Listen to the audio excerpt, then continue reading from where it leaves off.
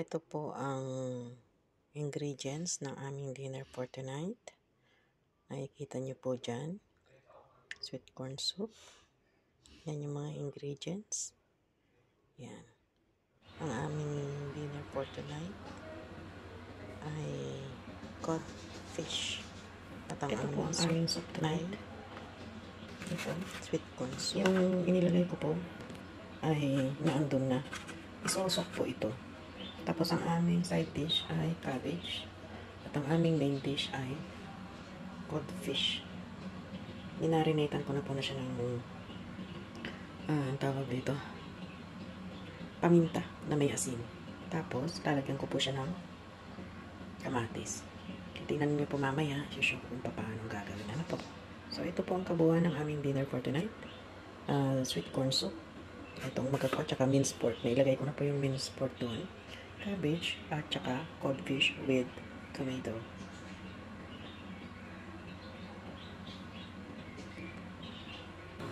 Ito na po yung aming soup. Ito na po yung aming soup. Andito na po yung pork sa loob. At tsaka yung chinap-chop na maliliit ginunting-gunting ko yung ipinakita ko sa inyo ito yun ito po yan pagkatapos ko maibabad ginunting ko ng medyo maliliit siya. Andito na po siya. Andito na ang yung creamy uh, sweet corn at saka yung whole sweet corn minced meat at saka yung ipinakita ko sa inyo. Mamaya bago ko iserve lalagyan ko pa siya ng itlog binati. Yung saglit lang po. Kumbaga quick boil na ganyan. Halimbawa halimbawa uh, full fire. Pag nag quick boil na siya saka mo ilagay yung binati saka mo igaganyan na. Tapos papatayin mo na yung tubig. Ay yung apoy ganun po. Ganun lang po kasimple ang paggawa ng sweet corn soup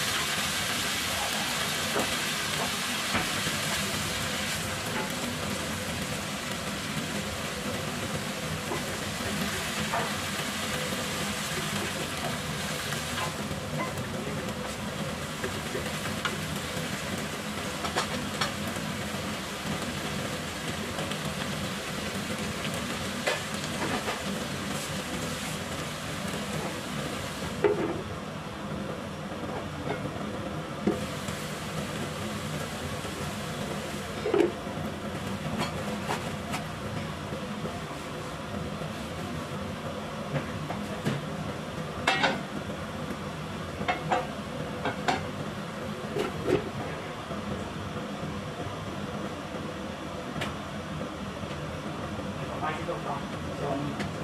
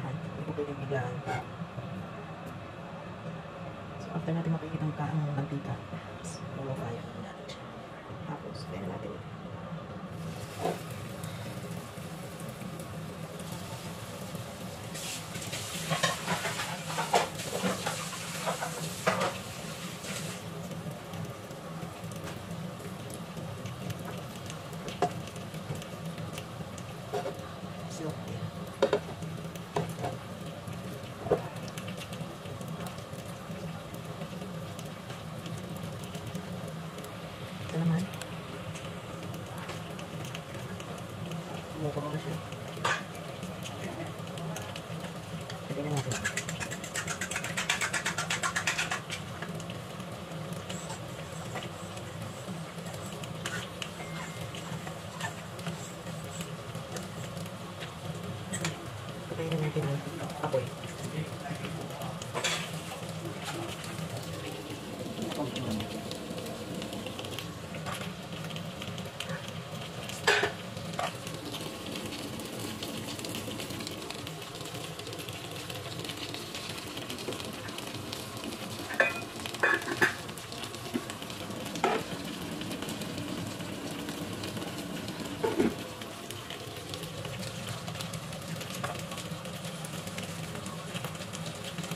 natin siyang nalutin. Lalagyan po natin siya ng